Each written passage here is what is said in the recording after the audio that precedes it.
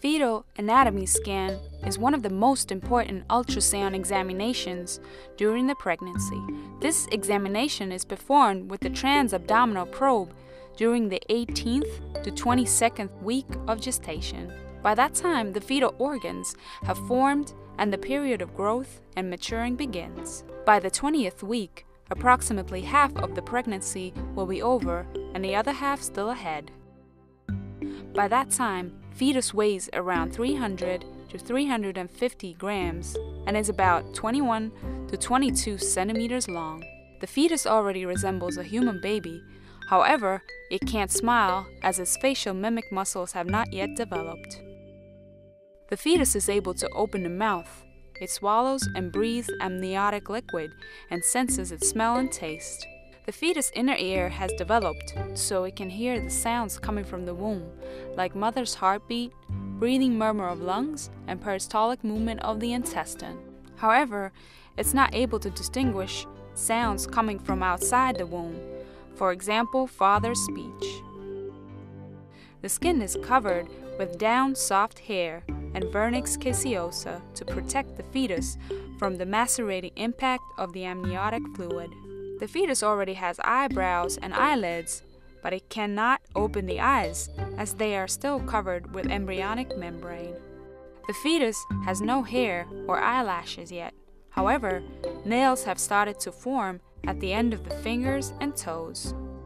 The fetus heart is the size of a 1 euro coin and it beats about 120 to 160 times a minute, or twice as fast as a mother's heart, or the mother's and father's hearts together. During the ultrasound examination, the size and structure of the fetus and the attachment of the umbilical cord in the placenta is examined. It is important to see that the lower edge of the placenta would uncover the neck of the uterus in order not to hinder the labor process. The amount of amniotic water is assessed to make sure that there isn't too little or too much of it. The size of the fetal skull, the circumference of the belly, and the length of the thigh bone are measured to assess the development and the time of labor. It is very important to evaluate the fetal organ structures in detail.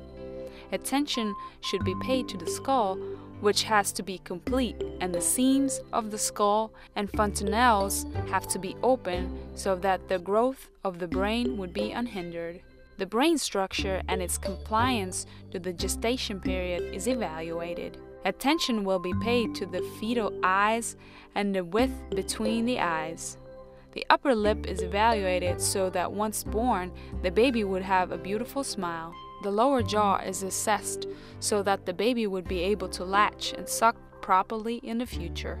The typical ultrasound features referring to chromosome diseases are observed. Attention is paid to the completeness of the fetal spine and the front wall of the stomach and the umbilical cord proceeding from the belly. The completeness, position, and movement of the baby's hands and legs are being assessed. The fetus can bend and stretch hands and legs and can open and close its hand. Attention should be paid to the kidneys. Their structure and function is assessed. It is observed whether the bladder is filled and whether the arteries of the umbilical cord surround it.